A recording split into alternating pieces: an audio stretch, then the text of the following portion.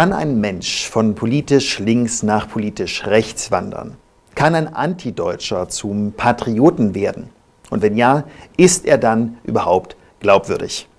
Ich denke, mit diesem Thema kann man mit niemandem besser sprechen und mit niemandem besser diskutieren als mit Jürgen Elsässer. Und mit genau diesem sprechen wir heute. Jürgen Elsässer, herzlich willkommen. Hallo. Jürgen, wir haben uns aufs Du geeinigt. Jawohl. Und äh, ich denke, das Thema ist eins, was viele interessiert, wo auch schon viele darüber gesprochen haben. Wir wollten schon lange mal miteinander reden, uns treffen, habe ich gesagt, lass uns gleich mal dazu ein Interview führen. Und äh, gleich die erste Frage an dich. Im Prinzip, es wirkt für viele unglaubwürdig, äh, oder nicht für viele, aber einige fragen sich schon, wie kann jemand, der früher Aussagen getroffen hat, wie mit Baseballschlägern auf Rechte reagieren, auf rechte Positionen, der gegen die Familie war, der anti-deutsch war, der mit Jutta Dittfurt vor Plakaten herlief, die Deutschland, sag mal, nicht das Beste wünschten, äh, heute zu einem Herausgeber geworden sein, zu, zu einem äh, Chefredakteur von einer Zeitung, die im Prinzip sehr stark äh, patriotisch ist, die sehr stark auch auf traditionelle Werte, Familienwerte setzt und dann dabei trotzdem glaubwürdig sein. Wie konnte dieser Weg passieren? Wie konnte dir das begegnen?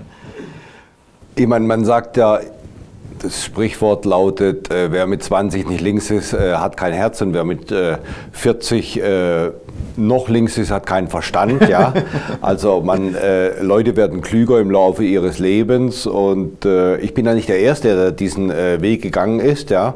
wir haben ja auch den berühmten Horst Mahler, der RAF-Anwalt war und nachher bei der NPD und dann noch extremer, mit dem ich mich allerdings nur im Groben vergleichen will, nicht im Detail, denn äh, er vertritt äh, Dinge, die ich äh, niemals unterstützen würde. Äh, oder äh, wir haben auch ähm, äh, bei, den, bei der NSDAP einige Leute, die früher bei der KPD waren, vor allem der, an der Basis und so weiter. Also es ist nicht ganz ungewöhnlich, was mit mir passiert ist. trotzdem ist, bin ich für die Nachfrage dankbar, denn ähm, ich werde immer danach gefragt und jetzt kann ich es mal bündig erklären. Ja. Ähm, ich war, äh, wie viele meiner Generation, also ich bin Jahrgang 57, wie viele meiner Generation war ich natürlich in den 70er Jahren äh, links und äh, bin äh, Kommunist geworden und äh, aus dieser Prägung heraus, ich war im Kommunistischen Bund, wo damals auch Jürgen Trittin war, bin ich dann, äh, war ich dann ein Gegner der Wiedervereinigung, ähm, äh, weil ich äh, gesagt habe, das ist eine Vergrößerung des kapitalistischen Systems. Hier entsteht ein äh, kapitalistischer äh, Megastaat im, Herzen, im Herzen des Kontinents. Hier entsteht vielleicht sogar ein viertes Reich. Also solche Dinge habe ich damals unter der Fahne Nie wieder Deutschland durchaus verbreitet. Und ähm, ich muss allerdings sagen, so peinlich ich im Nachhinein äh, diese Position von mir damals finde, äh, habe ich dennoch äh, einige Exzesse äh, dieser Richtung nie mitgemacht. Äh, die Antideutschen äh, haben sich ja sehr schnell auch zu Kriegsfanatikern entwickelt. Schon im Jahr 1991 waren die Antideutschen auf der Position, Amerikanisch, den amerikanischen Irakkrieg zu unterstützen. Da habe ich immer gesagt, no way, ähm, für den Krieg kriegt ihr mich nicht. Ähm, und äh, als dann einige angefangen haben, äh, Bomber Harris do it again äh, zu brüllen, habe ich gesagt, Leute, wie, wie, blöd könnt ihr sein? Also wir sind doch äh, Kommunisten, wir können doch nicht äh, unsere Basis, das heißt die Arbeiter des Volk, äh, bombardieren wollen durch eine fremde imperialistische Macht und so. Ja? Ähm, also da ähm, war ich dabei, habe dann aber begonnen, schon an meinen Mitstreitern so ein bisschen zu zweifeln und äh, was dann letzten Endes äh, sich vollzogen hat, war ein sehr langfristiger Umbruch. Also es ging nicht von einem Tag auf den anderen, sondern es war ein Prozess von, ich würde mal sagen, 15 Jahren. Äh, begonnen 1995, weitgehend abgeschlossen 2010. Und bei diesem Umdenken gibt es mehrere Stationen.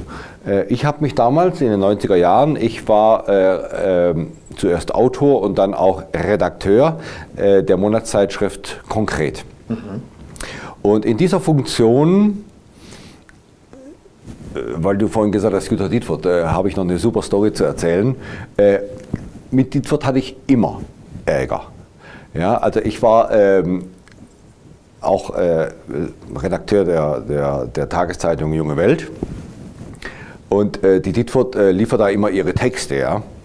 Und ich habe damals schon ihr, zu ihr gesagt, ähm, Jutta, wir haben uns damals geduzt, äh, Jutta, muss da eigentlich in jedem Text drinstehen Sexismus, Feminismus, äh, Patriarchat, äh, Antikapitalismus, Antirassismus, Antisemitismus?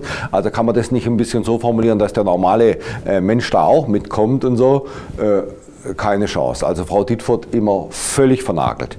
Dann hatten wir damals schon eine Diskussion ähm, im Rahmen der jungen Welt, Großveranstaltung, ich glaube im in, in, ähm, im, äh, wo war das damals? In der Volksbühne, glaube ich, ja. Also, was weiß ich, 500 Leute um die Frage Ökologie. Ja. Und ich habe schon immer einen Rochus gehabt äh, auf die Grünen, auch zu Zeiten, wo ich noch links war, weil ich schon immer äh, gerochen habe, das ist eine volksfeindliche, asoziale, äh, bourgeoisie Richtung. Ja. Und ähm, Bevor die, als die Diskussion losging, habe ich zunächst mal ausgepackt äh, ein äh, schönes äh, Rindersteak. Weil äh, damals äh, haben die auch schon gesagt, kein Fleisch essen und äh, alles verbieten und so. Habe ich erstmal gesagt, essen wir mal ein schönes Steak zusammen. Ja? Aber auch da war die völlig verbiestert und so, konnte überhaupt kein. Also die geht zum Lachen in den Keller. Ja. War das auch so eine Provokation von deiner Seite? Ja, klar. Ja. ja. logisch. Also ich, äh, ich wusste ja, dass die, äh, dass die da vernagelt ist. Ja. Äh, jedenfalls, also wir sind Mitte der 90er Jahre. Ich war damals Autor der Zeitschrift Konkret und auch schon Redakteur bei der Jungen Welt und habe mich in der Funktion äh, sehr stark mit dem Jugoslawienkrieg beschäftigt. Da habe dann im Laufe dessen auch dann viele Bücher zu dem Thema veröffentlicht, war auch sehr viel in Jugoslawien und ähm, habe äh, viele Veranstaltungen gemacht in Deutschland im Kreise jugoslawischer Gastarbeiter. Also das waren dann jugoslawische Clubs oder serbisch-orthodoxe Kirchen und so weiter. Und äh, da hatte ich zum ersten Mal ein Publikum, was Arbeiter waren, Gastarbeiter. Vorher waren ja nur Studenten. Ja? Und da musste ich lernen, mich so auszudrücken, äh, dass der Arbeiter, insbesondere auch der Gastarbeiter, der nicht ganz gut Deutsch kann, mich versteht und habe dann im Umgang mit diesen einfachen Leuten äh, festgestellt, äh, dass die eigentlich alle national denken, nämlich serbisch-national. Und für mich als äh, Antinationalen äh, war das ein bisschen befremdlich, aber mit der Zeit äh, sind mir die Leute immer sympathischer geworden, äh, weil ich gemerkt habe, ähm, ja, es geht um das Volk, es geht um das Überleben des Volkes. Und dann haben dann auch Linke, frühere Tito-Anhänger oder Rechte, frühere äh, Königsanhänger oder Chetnik, haben eine gemeinsame Basis gefunden. Und in der Zeit hat ja auch äh, Milosevic in Jugoslawien mit einer Links-Rechts-Querfrontregierung das Land verteidigt. Ja. Und dann habe ich zum ersten Mal gemerkt, diese Links-Rechts-Abgrenzung, die haut nicht richtig hin. Also nicht jeder, äh, äh, nicht jeder Rechte ist schlecht, sondern wenn es ums Ganze geht, das heißt ums Überleben des Volkes, muss man zusammenarbeiten, wer gegen die ausländischen Mächte ist. Also damals die NATO. Äh, das hat so einen gewissen Denkprozess bei mir in Gang gesetzt. Ja. Äh, und ähm, ich habe dann auch versucht, das in meine Schriften damals einfließen zu lassen, äh, haben die deutschen Linken natürlich gar nicht kapiert. Die dachten immer noch, das sozialistische Jugoslawien wird verteidigt und so, war natürlich alles Blödsinn. Ja.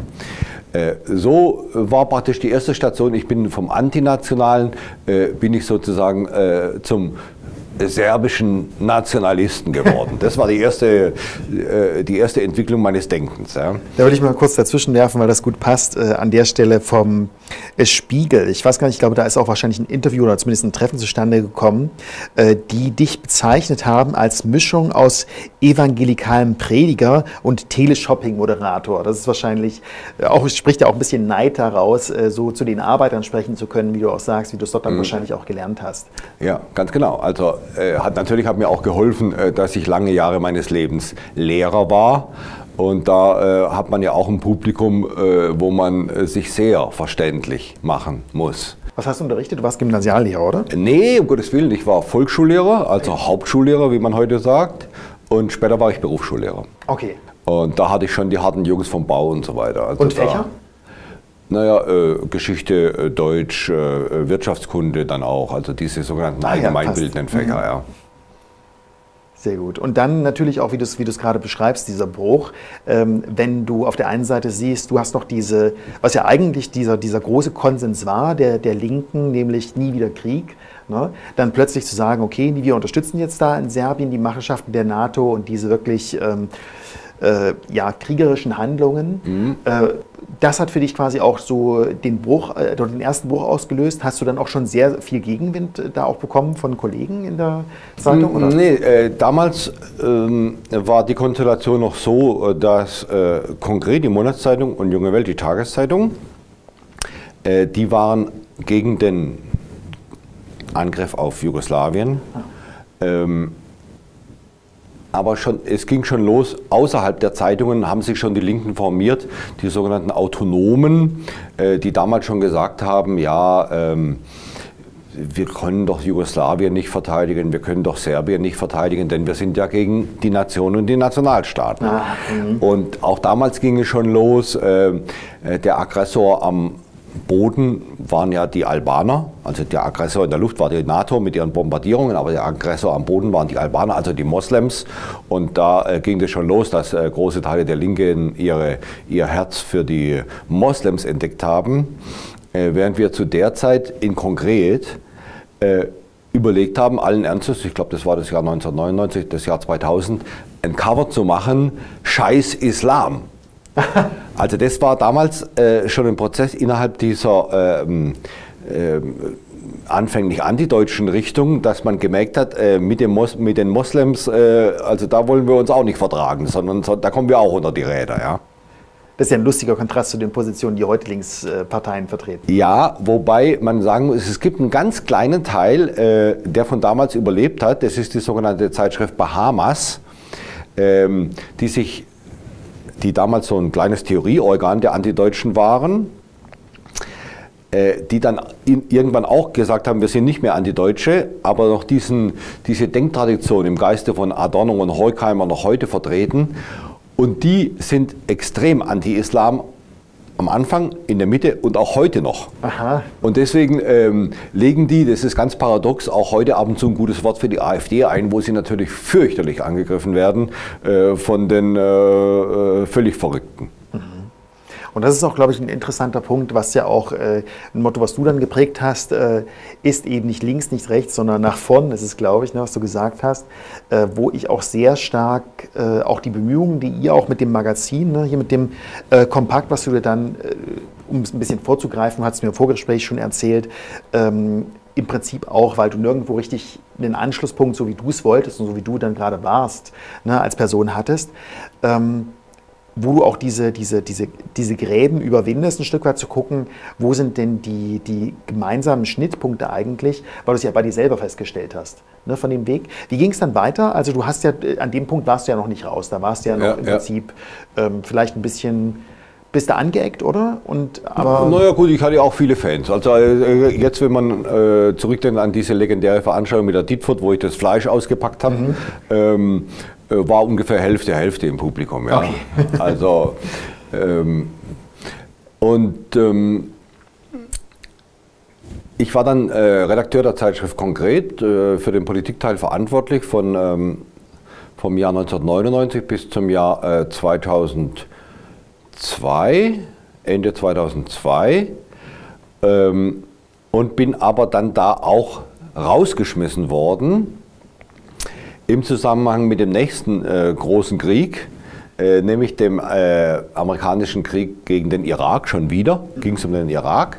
Und ich habe schon wieder gesagt, äh, wir können nicht für den Krieg sein. Und äh, der, der Herausgeber, Hermann Gremlitzer, äh, und die Mehrzahl der Mitarbeiter, Redakteure, Autoren war eben der Ansicht, ähm, bei diesem Krieg darf man nicht Position beziehen, weil es gibt gute Argumente gegen den Krieg und gute Argumente für den Krieg. Die guten Argumente für den Krieg waren dann vor allem, äh, dass man, äh, wenn man Saddam Hussein und seinen Staat wegbombt, dass man dann Israel rettet. Ah. Und da habe ich schon gesagt, Moment mal, ähm, damit will ich eigentlich nicht anfangen jetzt. Ja. Also fliege, flog ich da auch raus, ging dann zurück zur jungen Welt, ähm, war dort ähm, fester Freier sozusagen, aber in guter Position und äh, war dann auch ähm, sozusagen eine Zeit lang ein bisschen in, in einem Hängezustand. Ich fühlte mich weiterhin als, als Linker, aber war schon durch die Auseinandersetzung der letzten äh, Jahre ein bisschen zum Eindruck gekommen, dass doch ein, großen Teil, ein großer Teil dieser Linken nicht Tatsachen prüft, also zum Beispiel die Tatsache, dass Saddam Hussein mit 9-11 nichts zu tun hat, und man deswegen keinen Grund haben kann, den Irak anzugreifen, bitteschön. Schon bei Osama bin Ladens Verantwortung habe ich ja gesagt, äh, wo ist der Beweis. Mhm. Aber egal, also beim Irak 2003 wurde es eklatant. Also ich habe immer die Wahrheit in den Tatsachen gesucht und die haben immer Ideologie gemacht. Und da habe ich schon gemerkt, äh, äh, diese linke Szene wird irgendwie immer realitätsfremder. Mm, und der nächste Bruchpunkt war dann das Jahr 2005, als äh, der gute Franz Müntefering die wichtige Rede gehalten hat gegen die amerikanischen Heuschrecken, Hedgefonds, die deutsche Firmen aufkaufen. Das war ein Resultat äh, einer Steuererleichterung, die äh, die Schröder-Fischer-Regierung eingeführt hat, die rot-grüne Regierung, die es dann ermöglicht hat, dass diese amerikanischen Hedgefonds sich in Deutschland einkaufen. Und, Was hat denn Müntefering da geritten, dass er da so einen Mut hatte, plötzlich ja, sowas zu sagen? Das war natürlich wahltaktisch, weil äh, so. äh, die, die rot-grüne Regierung ist ja zerbrochen oder die Regierung ist nicht zerbrochen, aber Schröder hat Neuwahlen angesetzt im Mai 2005 und dann wollte Müntefering, damals Generalsekretär, die Schande, dass der Schröder das Schlamassel ja selber angerichtet hat, dadurch vergessen machen, dass er jetzt, machen die Sozis ja immer vor Wahlen, dass sie dann plötzlich ihr soziales Herz und ihr, ihr gewisse antikapitalistische Demagogie entwickeln. Äh, aber es traf ja die Richtigen, die Heuschrecken äh, waren ja wirklich ein Riesenproblem, sind es übrigens immer noch, dass die sich einkaufen in Deutschland und immer mehr unsere Wirtschaft unter amerikanische Kontrolle gerät. Die Mehrzahl der, der DAX-Firmen sind ja in ausländischem Besitz, damals schon. Man denkt auch an Friedrich Merz und BlackRock zum Beispiel. Zum Beispiel, ja. Also wir haben ja diese, äh, diese Feindagenten in Politik und Wirtschaft überall. Ja. Äh, und äh, da habe ich gesagt, der Mündefering hat recht. Und äh, die einzige Möglichkeit, ähm, unsere Wirtschaft, das heißt links gesprochen, unsere Arbeiter, zu schützen, ist der Nationalstaat einzusetzen gegen diese globalistische Entwicklung. Das habe ich gesagt und ich konnte das auch begründen mit Marx und Engels und Lenin und so, hat aber damals schon keinen Schwanz mehr interessiert in der jungen Welt, wo ich in der Redaktion war. Mhm. Also die waren äh, voll auf äh, Internationalismus und Antinationalismus und äh, selbst wenn der deutsche Arbeiter dabei untergeht, wollten die davon nichts wissen.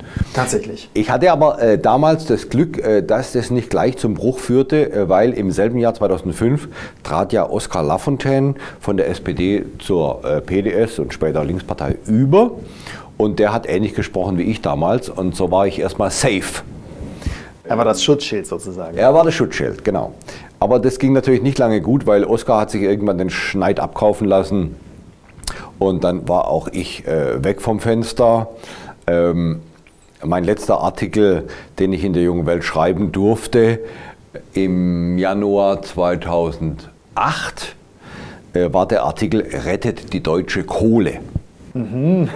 mit gleich zwei Tabubrüchen in einem Artikel, nämlich äh, Kohle retten. Äh, das war damals auch schon völlig grün versifft, die Redaktion. Und dann deutsche Kohle, um Gottes Willen. Das war also praktisch äh, Hermann Göring oder äh, wurde das angesehen. Ja? Also bin ich da raus und äh, hatte noch ein einjähriges Gastspiel in der anderen linken Tageszeitung, dem ruhmreichen Neuen Deutschland, früher das Zentralorgan der SED. Ähm, da bin ich aber auch bald angeeckt äh, und zwar, das war damals schon die beginnende Euro-Krise, ähm, habe ich mich positiv auf Karl Albrecht Schachtschneider bezogen. Äh, war No-Go, weil Schachtschneider galt äh, schon als Rechter, weil da, ich weiß gar nicht, was er für Verbrechen hatte, aber ähm, Revisionismus vielleicht ach, oder sowas. Alles Mögliche, ja. Und äh, nachdem, nachdem dieses Gastspiel auch zu Ende war, vielleicht noch interessant, wie es zu Ende ging. Im Januar 2009, also ungefähr nach einjährigem Aufenthalt in den ruhmreichen Hallen des Neuen Deutschland, äh, habe ich die Volksinitiative gegen das Finanzkapital gegründet, wo als Gegenwehr gegen die kurz vorher eingetretene Börsenschlamassel weltweit äh, im Zuge von ähm, dem amerikanischen Platzen der Immobilienblase. Äh, ich gesagt habe, ja, man muss das nationale Kapital schützen vor diesen Entwicklungen und von der Wall Street und von der City of London, vom internationalen Finanzkapital kommt alles Böse.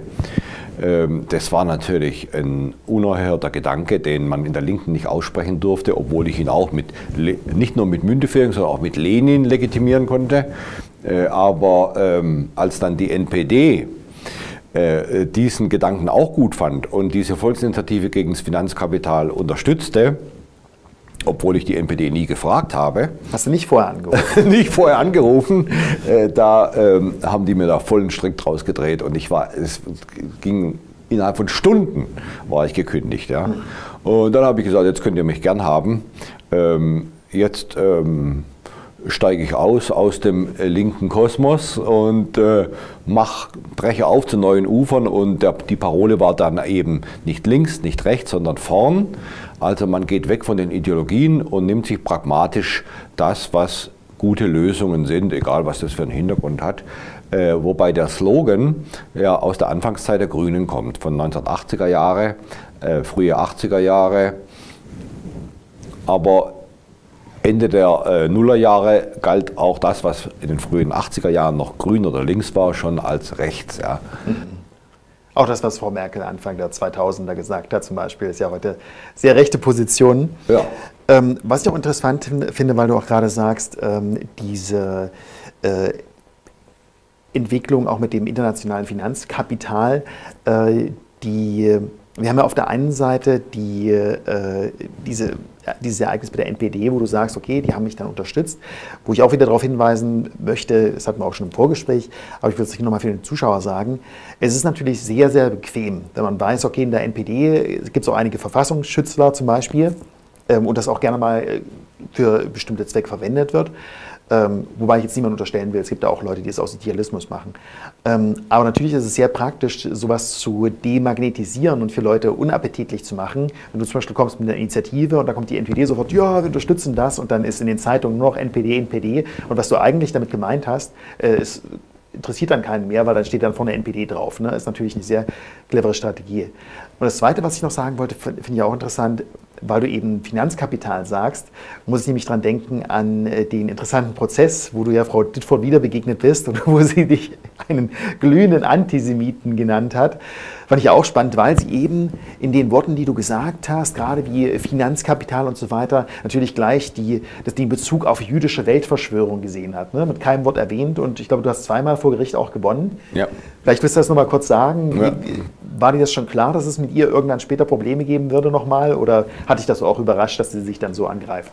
Nee, die ist ja einfach äh, gaga, die Frau. Also die, äh, ich wusste nicht, dass man mit der noch Probleme kriegen kann, aber plötzlich kam sie raus aus dem Loch. Ja. Ähm, das war dann aber schon ein paar Jahre später. Wir sind dann schon im Jahr 2014, als es die berühmten Montagsdemonstrationen der neuen Friedensbewegung gab. Es war damals Ukraine-Krise, Krim-Krise, Kriegsgefahr und so weiter. Und da habe ich äh, eine Rede gehalten am Ostermontag 2014, hm, wo ich eben diesen Gedanken, den ich schon 2009 hatte, nochmal ein bisschen präzisiert habe, ähm, wo ich gesagt habe, das internationale Finanzkapital spielt heute äh, die Rolle der früheren adligen Dynastien. Das heißt, äh, der Blutsadel des Mittelalters hat sich in den Geldadel verwandelt.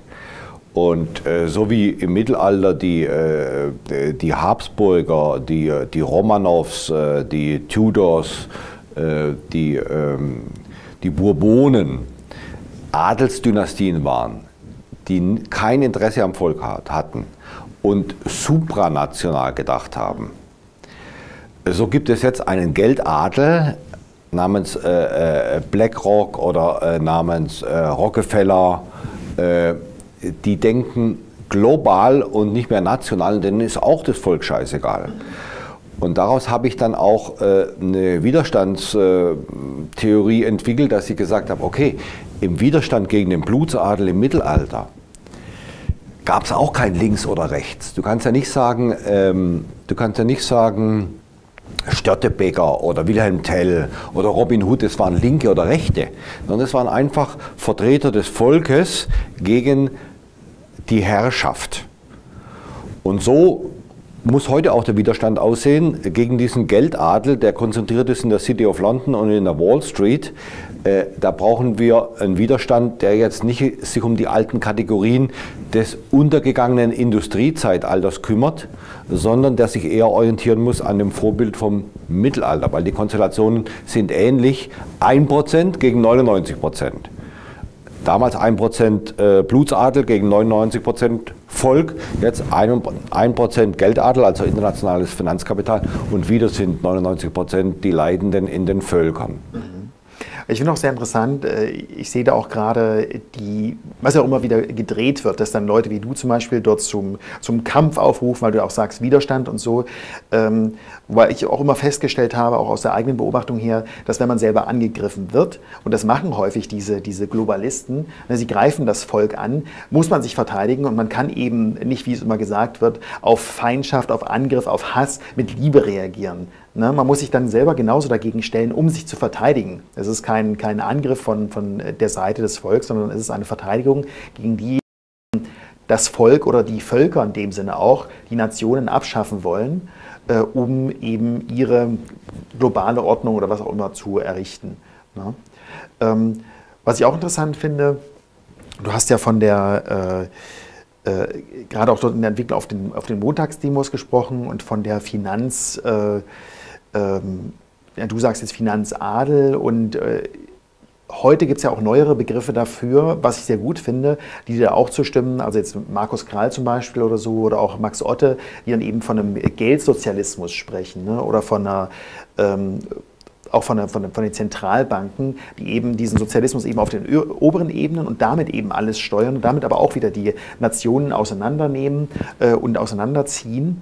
Und jetzt hast du gerade gesagt, links und rechts gibt es dafür für dich eigentlich für Begriffe gar nicht. Ähm, Gibt es überhaupt irgendeine Definition, die du für links oder rechts hast? Oder ist das für dich eine komplette Fantasie mittlerweile? Oder was bedeutet für dich links und rechts noch? Die Schwierigkeit ist, ähm, dass der Sache nach, wie ich ausgeführt habe, die Begriffe eigentlich von gestern sind. Mhm. Aber das Echo in den Köpfen und Herzen dieser Begriffe ist noch da. Mhm. Äh, das heißt, äh, wir können äh, nicht wegdiskutieren, dass sich heute immer noch Leute als links oder rechts bezeichnen. Mhm. Das macht auch ein bisschen die Schwierigkeit von diesem Konzept aus nicht links, nicht rechts, sondern vorn. Ähm, Fakt ist einfach, dass sich 95 Prozent der linken Funktionsträger, das heißt bei der Partei SPD, bei der Partei Grüne, bei der Partei Die Linke, 95 Prozent davon bezeichnen sich als links. An der Basis bei den Wählern sieht es ein bisschen anders aus. Wir haben ja gerade in Ostdeutschland, in Mitteldeutschland sehr starke Übergänge von früheren Linkswählern zu heutigen AfD-Wählern. Das heißt, ähm, im Grunde diese Querfront, dass man sozusagen die besten Köpfe von links und von rechts, die die Verteidigung des Staates und des Volkes wollen, auf ihrer jeweils eigenen ideologischen Grundlage. Äh, dieser richtige Gedanke hat sich in der Praxis nicht durchgesetzt, weil die linken Funktionäre alles verhindern. Und ein typisches Beispiel für diese Verhinderung waren eben diese Montagsdemonstrationen. Die gab es im Februar, März, April, Mai 2014. Hm, anfänglich durchaus im Publikum und von der Rednerauswahl eine Links-Rechts-Mischung. Aber man muss leider sagen, äh, dass dieser schöne Ansatz gehijackt, gekidnappt wurde, äh, unterwandert wurde äh, von linken Kadern und dass der wichtigste Mann dieser Montagsdemonstration, nämlich der Journalist Ken Jepsen, das leider ähm, zuließ und mitbeförderte. Mit Jepsen habe ich, äh, haben wir in den Jahren zuvor, das heißt äh, 2012, 2013, sehr gut zusammengearbeitet, auch als Kompaktmagazin. Aber an der Frage kam es zum Bruch, äh, denn er hat plötzlich entdeckt, dass wir Rechte sind und äh, hat lieber mit den Linken zusammengearbeitet. Und dadurch ging das ganze Projekt Montagsdemonstration absolut kaputt. Mhm. Ja? Und äh, äh, das war, glaube ich, der letzte vernünftige Querfrontansatz. Jetzt verwirklicht sich die Querfront im Rahmen der AfD. Weil im Grunde haben wir in der AfD einen, äh, einen sozialistischen Flügel oder einen sozialdemokratischen Flügel, was die Wirtschaftspolitik angeht, äh, der sich in Ostdeutschland um äh, Höcke konzentriert. Und wir haben eben einen wirtschaftsliberalen Flügel, der in Westdeutschland stärker ist und der sich zum Beispiel um Meuthen konzentriert. Ja, ich finde es auch spannend. Ich muss sagen, auch schon der Begriff äh, Querfront an sich äh, auch das scheint mir schon fast ein bisschen überholt zu sein, weil äh, für meine Beobachtung ist es mittlerweile so, du sagst ja auch, die Begriffe haben sich teilweise auch so getauscht, es sind eher noch Echos von dem, was es früher war. Altlinke finden sich in den Neulinken heute Positionen gar nicht mehr zurecht, wenn sie tatsächliche ähm, Leute waren, die Grundwerte hatten, zum Beispiel gesagt haben, okay, kein Krieg, nie wieder Krieg, das ist was, was ich wirklich verhindern will. Und die dann eben den, den Jubel der Neulinken und der neuen Strömungen dann überhaupt nicht verstanden haben. Ne? Wie kann man dann Krieg wollen, wenn man links ist? Und das hat sich ja heute so viel gedreht. Und Querfront stellt für mich so ein bisschen, kannst mich da auch korrigieren, aber so diesen, diesen Fall da oder die Idee da, dass es eigentlich so, so ein breites äh, Links und so ein breites oder weniger breites Rechts gäbe und dann versucht man da irgendwie über so einen riesigen Graben da so eine Brücke zu schlagen. Aber eigentlich ist mein Eindruck eher, dass viele Leute eigentlich tatsächlich in der Mitte sind, vielleicht eine Tendenz haben, eigentlich mit, mit, miteinander reden wollen. Aber es gibt halt diese, ich sag mal so wirklich extrem und sogar Arschlöcher an beiden Seiten, an beiden Enden, die sich eigentlich sogar wieder ziemlich ähnlich sind. Ne? Äh, und die, die aber versuchen, alle so auseinanderzuziehen. Nein, du darfst nicht mit denen reden. Wenn du mit denen redest, dann rede ich ja. nie wieder mit dir und da bist du auch kein Linker mehr, da bist du ausgeschlossen und dann versuche ich dich fertig zu machen und dass ja. du deinen Job verlierst und so weiter. Ja. Ist das auch dein Eindruck? Nee, äh, genau, das ist gut, dass du das sagst. Äh, also der, im Grunde ist der Begriff Querfront, obwohl ich den auch schon verwendet habe, für die gegenwärtige Situation falsch. Äh, denn der Begriff Querfront stammt aus der Debatte in den 1920er Jahren, wo es darum ging, ob sich die Extremisten von links, das heißt die KPD, und die Extremisten von rechts, nämlich die NSDAP, hintenrum äh, gegen die verrottete Weimarer Demokratie zusammenschließen könnten. Und der Höhepunkt dieser Strategie war ja der Streik der Berliner Verkehrsbetriebe im Jahr 1932, äh, wo es dann auch eine Podiumsdiskussion gab äh, zur Befeuerung des Streiks. Da war dann äh, Goebbels und Ulbricht. Ja, also sehr, äh, sehr interessant. aber wie es ausging, wissen wir ja auch. Ja. Äh, aber heute geht es nicht darum, sondern was wir heute ja haben, ist, dass die Mitte ganz brave Christdemokraten und Sozialdemokraten, äh, die sind ja heimatlos geworden, weil die Führung der Union und die Führung der SPD völlig nach links abgedriftet ist. Und diese braven Leute, die mit Extremismus gar nichts im Sinn haben, ja, äh, die versuchen sich jetzt ähm, zu artikulieren und finden eigentlich nur die AfD. Ja? Und ähm, dass da dann auch Leute dabei sind in der AfD, die jetzt eine rechtere Tradition haben, die vielleicht irgendwann mal in der MPD waren oder irgendwann mal in der Partei Die Freiheit oder was. Das gibt es natürlich auch. Aber ich glaube, NPD-Mitgliedschaft ist sogar ausgeschlossen. Ist ausgeschlossen, ja. Vielleicht haben sich da ein paar äh, reingeschmuggelt, weiß der Teufel und so. Ja. Ähm, aber eigentlich sind es kreuzbrave Leute aus der Mitte. Ja. Deswegen, äh, was wir im Augenblick haben, ist ein Aufstand äh, der Mitte äh, der vom System als rechts oder gar rechtsradikal verleumdet wird. Ja? Das ist ein völlig anderer Prozess. Äh, das ist vielleicht auch ein gutes Stichwort, ähm, weil nochmal, du hattest es auch beschrieben, dass ihr das jetzt in den, in den Magazinen auch mit drin habt, ne? dass diese, ähm, diese Demokratie ohne das Volk, das beschreibt das ja eigentlich gerade, dass das, dass das gerade auch so über diesen grünen äh, über diesen, diesen Greta-Gedanken halt sehr stark jetzt die heilige Greta und wir schützen doch die Umwelt äh, als Front dafür, dass eigentlich die Demokratie jetzt ohne das Volk gemacht hat, das Volk, wie du gerade gesagt hast, die Mitte komplett äh, allein wird, gesagt wird, so, nö, ähm, wir, wir machen jetzt gar nicht mehr, was ihr wollt, wir sind hier unser eigenes Ding. Und sogar von Leuten wie, ich glaube, ähm, Robert Habeck, der dann äh, die chinesische äh, kommunistische Diktatur äh, lobt, weil man kann ja da so viel machen und man kann die richtigen Dinge umsetzen, die richtig sind, weil sie moralisch sind und die moralisch sind, weil sie richtig sind, keine Ahnung.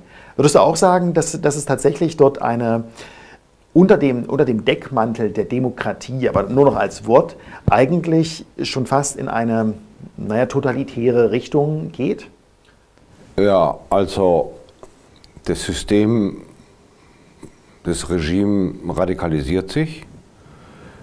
Es wird zwar weiter gewählt, aber der Parteienpluralismus verschwindet, indem sich die Altparteien zu Blockparteien zusammenschließen. Und das führt dazu, dass zwar noch von Demokratie die Rede ist, aber eigentlich äh, spielen Wahlergebnisse keine Rolle mehr. Also je mehr äh, die Linken, die SPD, äh, auch die CDU verlieren, nützt alles nichts, weil die regieren weiter. Also jetzt in, äh, in Sachsen und äh, Brandenburg äh, offensichtlich, das Volk will eine bürgerliche Regierung. In Sachsen haben CDU und AfD zusammen 60 Prozent, mhm. aber der Wille des Volkes spielt überhaupt keine Rolle. Äh, die CDU steigt äh, mit den Grünen ins Bett. Äh, in, in Brandenburg ähnlich, in Thüringen wird es ähnlich kommen. Und man sieht es auch auf internationaler Ebene. In Großbritannien, das Volk hat den Brexit gewählt in der Volksabstimmung. Und sogar nochmal jetzt in der letzten Europawahl, nochmal um einen draufzusetzen. Nochmal, ja, in, bei der Europawahl hat die ganz neue Brexit-Partei mit über 30 Prozent die anderen deklassiert, ja, brutal. Äh, trotzdem kommt der Brexit nicht durch, weil sich die Altparlamentäre äh, die noch von der Wahl von, von Anno Dunnemal stammen, also 2015 oder wann die zum letzten Mal gewählt haben, äh, die verhindern jetzt, dass äh, Boris Johnson, der Premier, diesen offensichtlichen Volkswillen umsetzt. Ja? Oder nehmen wir Italien. Ähm, äh, Salvini, die Lega, stürmt in allen Umfragen nach vorne, äh, lag zuletzt bei 38 Prozent.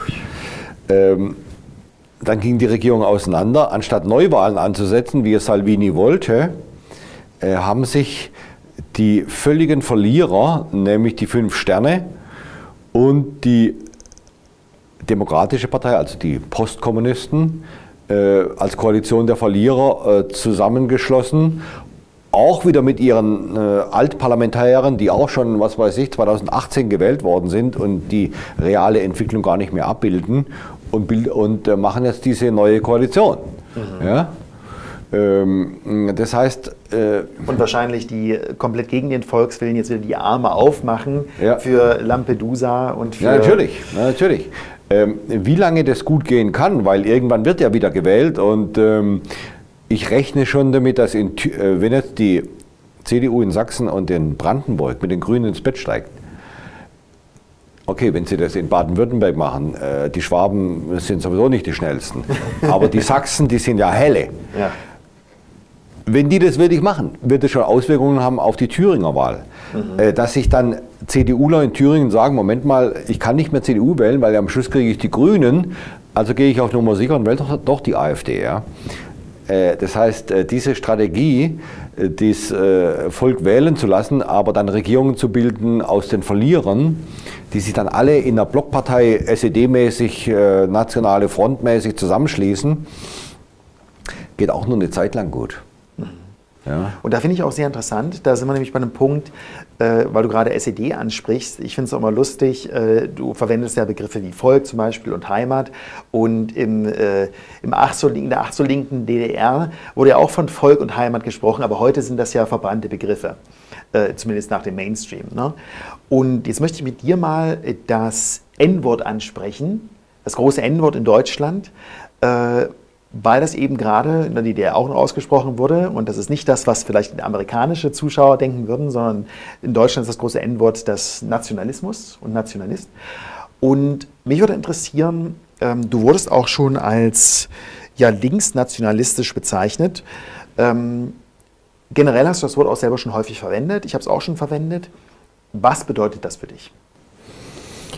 Also ich habe äh, keine Scheu vor dem Begriff Nationalismus, äh, weil äh, die Nation ist der Bezugsrahmen, auf der sich die, auf, in, im Rahmen dessen sich die Verteidigung der sozialen Rechte, der kulturellen Traditionen, der familiären Werte abspielt.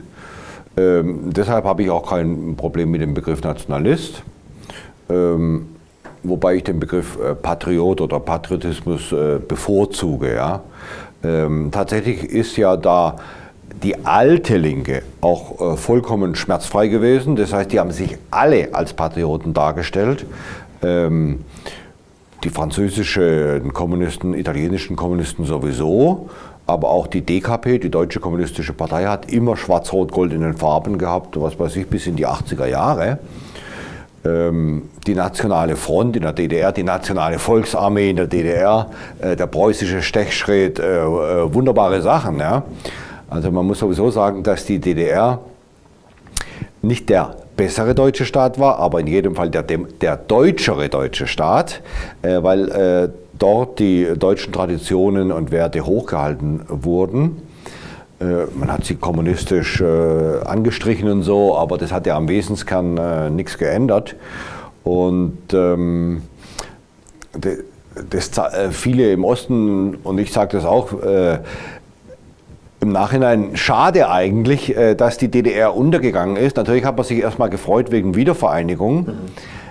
Und äh, ich war damals so blöd dagegen zu sein, aus den, aus den falschen Motiven, nämlich Antideutsche. Aber wenn man jetzt 30 Jahre später zurückblickt, muss man natürlich sagen, fürs deutsche Volk, also aus konservativer Sicht, aus nationaler Sicht, wäre es natürlich besser gewesen, es wäre nicht zur Wiedervereinigung gekommen, denn dann hätten wir jetzt im Osten einen Staat, der zwar undemokratisch ist, aber immerhin noch deutsch. Mhm. Ja? Und äh, du kannst aus einer Diktatur kannst du eine Demokratie machen, indem du das Volk mobilisierst. Aber äh, ein Volk, das ausgetauscht wurde, den Prozess kannst du ja nicht mehr rückgängig machen. Ja? Deswegen ist die Frage der politischen Verfasstheit von dem Staat, ob jetzt sozialistisch, äh, konservativ, christlich, äh, monarchistisch oder was auch immer, ist eigentlich zweitrangig, weil daran kannst du, kann das Volk immer was ändern. Aber was wir im Augenblick erleben, ist ja, das Volk wird abgeschafft, wird ausgetauscht. Und deswegen ist das die zentrale Frage über alle politischen und ideologischen Streitfragen hinweg. Ja, aber jetzt, was heißt Nationalismus? Ähm, ich glaube, man das Biologische ist der Kern, aber darf nicht verabsolutiert werden. Natürlich vererb, vererben sich bestimmte Eigenschaften, jetzt weniger über die Gene oder über die DNA, äh, sondern vor allem über kulturelle äh, Tradierung. Ähm, das ist wichtig, dass dieser Kern stark bleibt. Aber dass der Kern darf natürlich nicht sich abschotten von den Einflüssen der äußeren Welt. Das heißt, wir brauchen natürlich ein gewisses Maß an Zuzug. Wir brauchen immer wieder frischen Wind. Wir brauchen immer wieder ähm, Leute, die neue Ideen reinbringen. Und das hat ja eigentlich in der alten Bundesrepublik ganz gut geklappt. Ähm, ich würde mal sagen, bis in die 70er, 80er Jahre hat man sich ja gefreut, okay, jetzt kommen die Italiener rein, jetzt kommen die Spanier rein. Mit den Türken war schon ein bisschen schwieriger, aber ich muss sagen, ich war ja damals in Stuttgart Lehrer und äh, auch die Türken konnte man damals noch äh, in die Spur bringen, äh, denn die Leitkultur, die deutsche, war noch intakt. Und ähm, dann hat man eben dem Ali gesagt, äh, hier Stuttgart, hier Kehrwoche hier nicht Antalya und alles wegschmeißen. Ja. Das hat noch geklappt, ja. Ähm, weil es halt nicht zu viel wurde. Ja. Also ähm, bei der, beim Ausländerzuzug macht die Dosis das Gift. Geringe Dosis kann wirken wie Arznei. Zu hohe Dosis ist letal. Ja. Und äh, also deswegen mh, hm, würde ich sagen, Beide Seiten in der Definitionsdebatte um die Nation haben in gewissem Sinne recht. Wobei die, die völkische Seite ähm, den Kern definiert, der muss tradiert sein über die Jahrzehnte und Jahrhunderte. Aber die Leute, die jetzt von Verfassungspatriotismus reden und sagen, wir gehen ganz weg von der Biologie, die soll man auch nicht äh, äh, schlecht reden, äh, denn sie vertreten auch ein wichtiges Element, nämlich den frischen Wind, der notwendig ist. Ja? Das Problem ist nur, dass im Augenblick in der Debatte die Verfassungspatrioten äh, die anderen, die Traditionsnationalisten, sage ich mal, äh, als Nazis bezeichnen. Dadurch wird eine gesunde Diskussion zwischen, bei dem, zwischen beiden Polen äh, verunmöglicht. Ja. ja, das ist auch mein Eindruck, muss ich sagen. Und äh, Ich finde es schade, weil ich sehe auch, dass äh, auf jeden Fall Lösungen und Übereinstimmungen auch möglich sind. Also ich muss sagen, ich habe das für mich so weit runtergedampft. Nationalismus heißt für mich eigentlich nur von den eigenen für die eigenen, weil da steckt schon so viel drin in dem Ausspruch, nämlich man muss sich auch, das ist auch so eine Grundvoraussetzung, man muss sich gegenseitig als eigen empfinden, als zum eigenen gehörig empfinden. Und das ist zum Beispiel auch eigentlich mein größtes Problem mit der Masse der Erdogan-Türken, nicht jetzt mal, nicht allgemein Türken, sondern Erdogan-Türken, die im Prinzip sagen, okay, ja, Türkei und so weiter, ich bin Türke und hier in Deutschland bin ich Besucher so oder ich habe Staatsbürgerschaft, aber ich bin kein, äh, kein Deutscher so. Ähm, weil ich glaube, es kann auch, wie du, wie du schon sagst, unabhängig von der, von der Biologie durchaus äh, äh, eine Nation funktionieren mit anderen Einflüssen, aber nur so weit, wie sich wirklich dann diejenigen, also alle, die dann daran beteiligt sind, als eins empfinden können. Ja. Und wenn sie das nicht tun, wenn schon einer das nicht tut, kann er schon nicht dazugehören.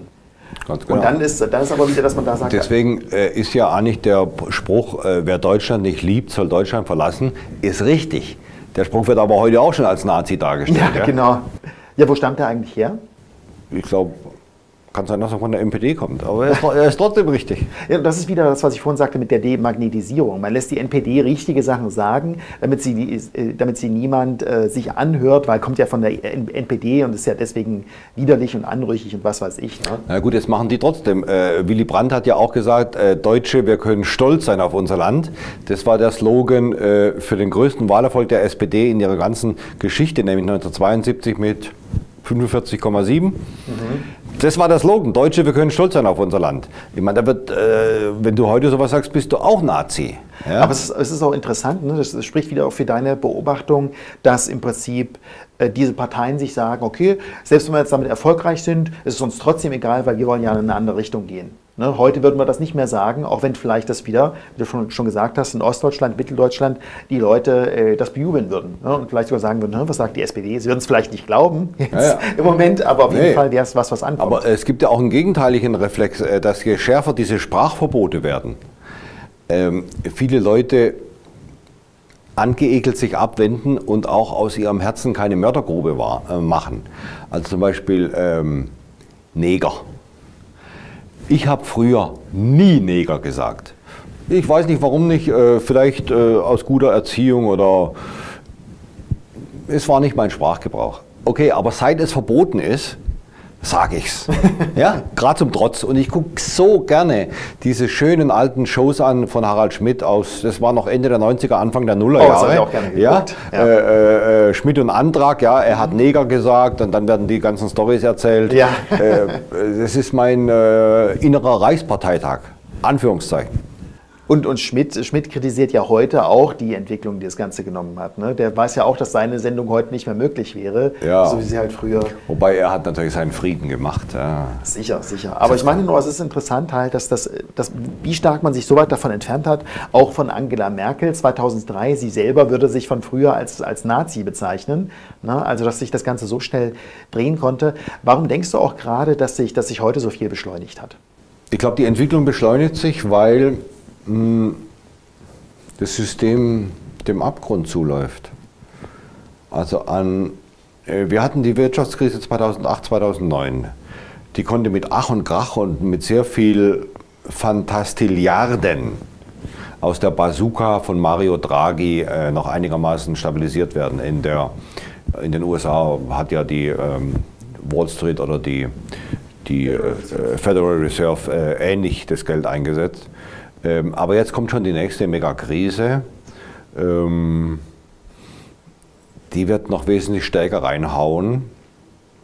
Und dann werden sich, anders als 2008, als es die AfD noch nicht gab, die Enttäuschten und Beleidigten und Entlassenen, etwa der Automobilindustrie, aber nicht nur da, an eine politische Vertretung, nämlich die Blaue Partei, von Gauland und Weidel wenden können. Und in anderen Ländern stehen jetzt starke ähnliche Formationen auch zur Verfügung, etwa die Lega, etwa der Front National. Ähm, und vor dieser Verbindung zwischen äh, national gesinnten Parteien und sozialem Aufstand hat das Regime mächtig Angst. Und deswegen werden sie jetzt immer offensichtlicher in ihren Unterdrückungsmaßnahmen. Aber auch ihre Lügen werden immer offensichtlicher und es befördert den Aufstand nochmal. Und vielleicht als Abschlussfrage, äh, was würdest du sagen, gerade worauf wir uns einstellen müssen? Ich meine, du beobachtest ja genauso wie ich auch die, die Nachrichten, die Entwicklungen, kennst einige Hintergründe. Was denkst du, worauf sich die Deutschen einstellen müssen, was kommt? Und was ist vielleicht das, das positivste Szenario, das sie erwarten können? Das Negative ist, fangen wir mit, mit dem negativen Szenario an, äh, das äh, hat ja Urle Beck in seinem Roman äh, Die Unterwerfung, heißt es, glaube ich, äh, geschildert. Für Frankreich, für Deutschland äh, sehe ich das ähnlich, äh, dass es ähm, aus der, dass die Linksparteien um einen rechten Kanzler oder Präsidenten zu verhindern, äh, das Bündnis mit dem Islam suchen und einen äh, Moslem als Kandidaten aufstellen für den Regierungschef, ja, und der dann auch gewählt wird und der dann die Scharia einführt. Äh, das ist das Worst-Case-Szenario.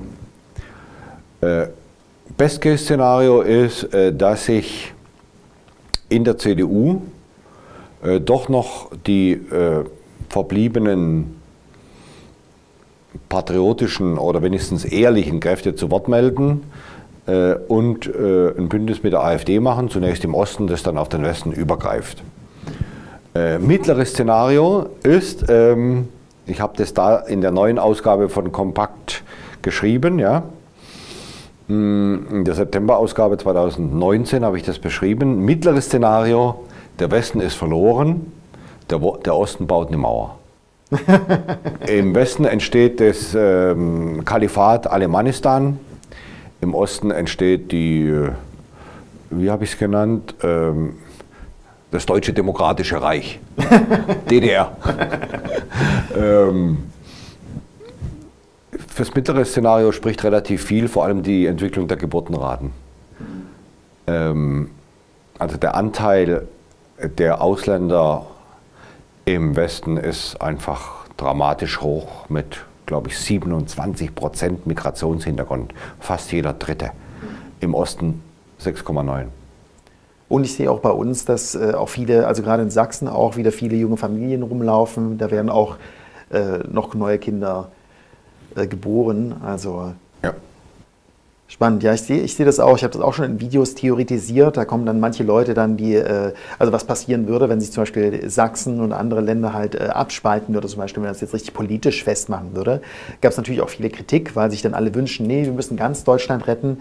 Aber es ist natürlich schwierig, wenn jetzt äh, das eine, der eine Teil gar nicht mehr rettbar ist, zumindest von der Position aus, an der man steht. Ne? Aber wie du sagst, das ist das mittlere Szenario. Wir haben auch noch andere, die vielleicht möglich sind.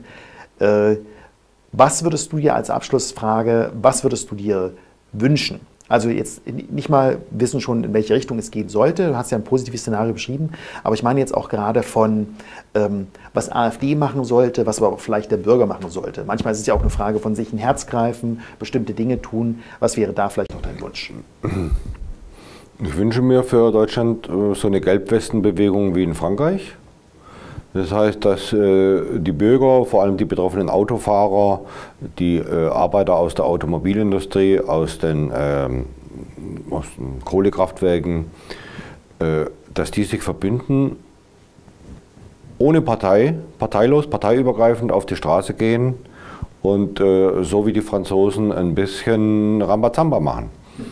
Und da kann ich nochmal auf Karl Marx zurückgreifen, dessen kommunistische Utopien ich nicht mehr teile, aber der immerhin ein guter, scharfsinniger Beobachter war, vor allem in ökonomischen Prozessen. Der hat mal geschrieben, der Tag der deutschen Befreiung wird verkündet vom Schmettern des gallischen Hahns. Also der französische Virus muss auf Deutschland übergreifen. Mhm. Interessant. Spannende Schlussgedanken. Jürgen Elsers, ich denke, damit sind wir am Schluss. Es war ein sehr spannendes Gespräch. Vielen Dank auch für die offenen Antworten auf die Fragen. Auch gerade, ich habe ja ein paar harte Fragen auch gestellt. Ich denke, da dürfen auch einige Kritiker heute mal äh, reinschauen dürfen und sagen können, okay, vielleicht verstehe ich doch mal die Positionen und den Weg, den er genommen hat. Ich denke, auf mich hat es einen sehr offenen Eindruck gemacht. Vielen Dank dafür und ich denke, wir wiederholen das. Vielen Dank. Danke. Liebe Zuschauer, vielen Dank fürs Dabeisein. Wir haben auch auf dem Kanal von Kompakt dann noch ein Video, äh, was wahrscheinlich dann auch in den nächsten Tagen, Wochen erscheinen wird. Das werden wir dann auch verlinken, wenn es hier drauf ist. Ansonsten, wie gesagt, auch dort mal vorbeischauen und auch mit abonnieren und ansonsten natürlich auch das Kompaktmagazin für diejenigen, die in diesen Themen sehr interessiert sind. Also vielen Dank und bis zum nächsten Mal. Tschüss.